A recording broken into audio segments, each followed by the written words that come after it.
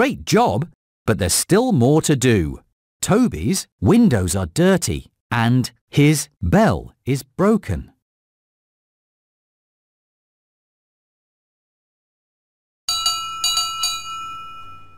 Great job. Kevin thinks you should wipe the windows clean with the...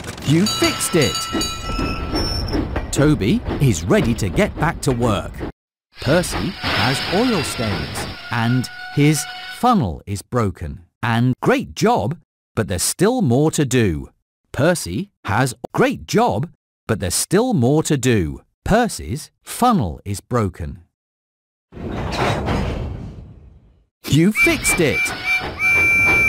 Percy is ready to be really useful again. You helped repair Henry and Edward and Percy and Thomas and James and